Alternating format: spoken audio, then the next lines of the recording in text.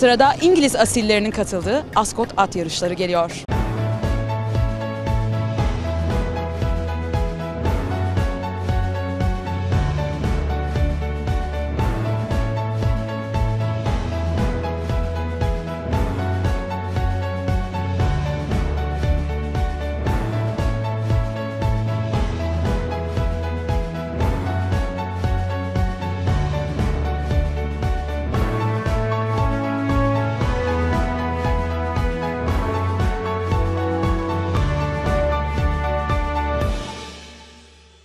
Değerli izleyiciler, bugün kameralarımızı İngiltere'nin en asil, en elit, en kral ve kraliçelerine layık olan köşelerinden bir tanesine çeviriyoruz. Bugün sizlere Ascot at yarışlarının gerçekleştiği 6. King George hafta sonundan en son haberleri aktaracağım.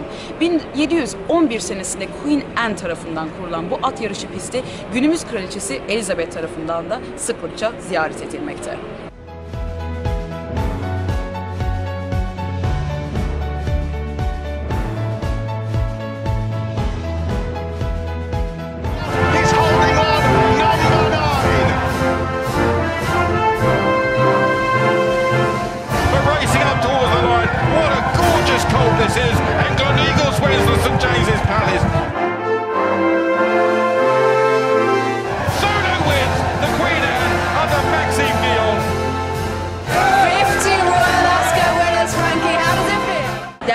İzleyiciler, eğer siz de Ascot'ta at yarışlarını ziyaret etmek istiyorsanız bunu başarabilmeniz son derece kolay ve mümkün.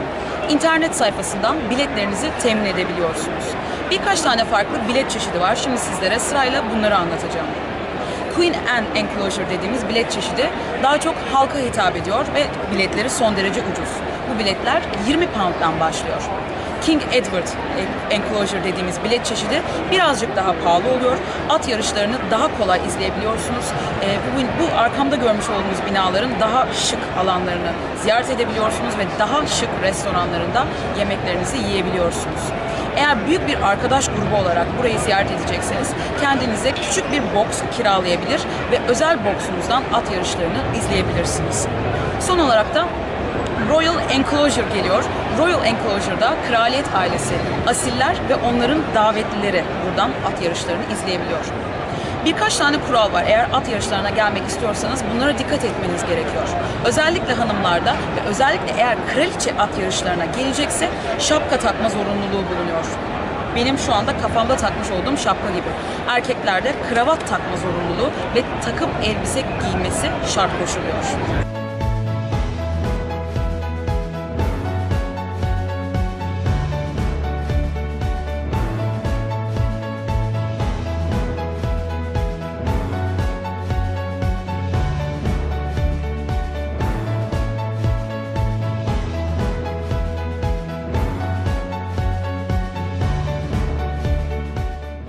Ascot at yarışlarında iki tane önemli unsur bulunmakta değerli izleyiciler. Bunlardan birincisi atlar, ikincisi ise moda. Her sene birçok kadın kendi şapkalarını kendileri yaparak bu at yarışlarına katılmaktadırlar. Erkeklerde pahalı takım elbiseler ve kadınlarda yüksek topuklu ayakkabılar ve çılgın şapkalar günümüz İngiltere'sinde son derece moda. Eğer benim kıyafetimi örnek alacak olursak öncelikle şu anda şapkama bakabiliriz. Bu Whiteley marka bir şapka ve Royal Enclosure ve King Edward Enclosure'a katılan birçok elit kişi bu şapkanın aslında çok da pahalı bir şapka olmadığını anlayabilirler. Bu enclosure'lara katılan, e, at yarışlarına katılan izleyiciler e, her sene en az 700 pound ve üzeri bir bütçeyi şapkalarına ayırabilmektedirler. Burası adeta hem atların hem de bayanlar için moda yarışı.